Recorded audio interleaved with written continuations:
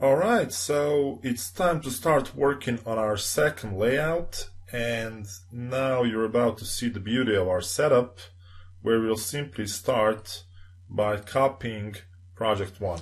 So I'll just click on project 1 folder, press Ctrl C and Ctrl V to paste it and wait for it to finish. I'll rename it to project 2 so it's going to be project 2 and once it's done let's just cd up one level and actually I should have gone to business site again. So I'm just gonna go cd business site.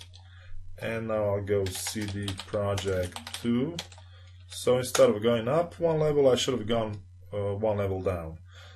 Okay so to begin we can see that we are on the GH pages branch and we first need to delete this uh, git folder because we're not going to be tracking this to begin with. And now we can actually simply serve our website to make sure that everything is running smoothly. So I'll go Jekyll serve. Um, and since we're already inside project 2 we can just press enter and let it run its thing. Alright, so server is running right here, which is localhost 4000. So basically this address of 127.0.0.1 colon 4000 is actually localhost colon 4000. It's exactly the same thing. So if I refresh it right here, we're to get our first website. Alright? So the next thing to do, uh, we're gonna stop this server and we're gonna run it on a different port. So instead of running it on port 4000, I'll be running it on port 5000. So I'll go Jekyll serve dash dash port 5000. When I press enter, I'll now be able to view my site right here. So that's how you can use different ports to run your websites. That way you can compare two different websites by simply running uh, your Jekyll sites on different ports. So that's an interesting thing to know. Okay, anyway, let's stop our server, let's clear our console, and now we can start rebuilding our site so first, um, let's open this project 2 right here, and I'll go um, open folder, and I'll click on project 2 and click select folder.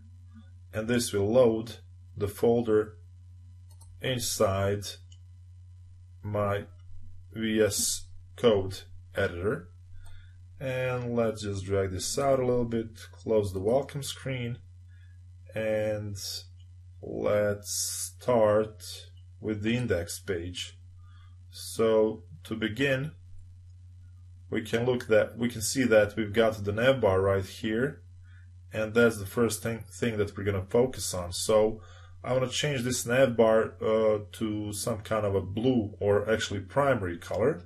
So let's go to includes here, locate the navbar, and now that we've got it here, um, I'm going to actually use bg primary. Primary control s to save it refresh right here. And of course we need to serve it first so let's do it real quick. And now that it's serving we can already see it. So first thing we're gonna do is we're going to start building the Jumbotron section uh, according to our mockup that we did in Adobe Illustrator. And basically what I'm to do is I'm to get rid of the image first. So back in here we've got assets, we're to go into CSS, main CSS, and now I'm going to remove this background right here Okay. And I'm also going to remove the background position because it doesn't make sense anymore. So I'm just going to go File, File, Save All. And now back in here, uh, or actually I'm gonna I'm gonna try to find my index. So I'm opening the index and I want to see the Jumbotron. So Jumbotron is located in the includes right here. And now I can say BG primary. Okay. So I'll go File, Save All. And now when I hit refresh, okay, it's just regenerated just now. So now I can refresh again and I'll get this nice blue color both on the nav bar and on the Jumbotron. So now for the Jumbotron text, I can simply say text dash white. And let's just view this with toggle word wrap. So that's more um, obvious to see what's going on. So I'll go file, save all. Um, the file has been regenerated, I'd say, so I can go refresh and the text is now white. So the first step that we're going to do in this uh, video to wrap it up is to actually make that diagonal line from our design. And to do that, we're going to use the clip path property. That's a CSS property. So uh, let's quickly um, do it right away.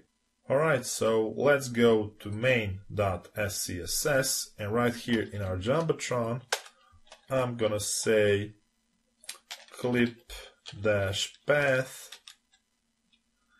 and before we click clip path, let's see this info. So if I click here, it'll say that it specifies a clipping path where everything inside the path is visible, visible and everything outside is clipped out.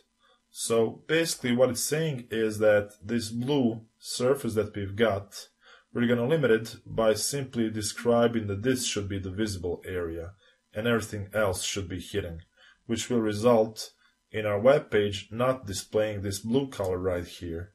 So that's what we're going to do. So let's say clip path and now I'll specify what we're going to do. We're going to use the polygon and this defines the polygon that we're going to use. So if I click right here, I can now type the, the values. And the values are going to be 0, 0 to begin with. Then I'm going to say 0, 5, 8, 3 pixels. Then I'm going to, do, to go 1920 because that's the width of the screen. 420 and finally I'll go 1920 and 0 of course this has to be pixels. And I'll also view toggle word wrap.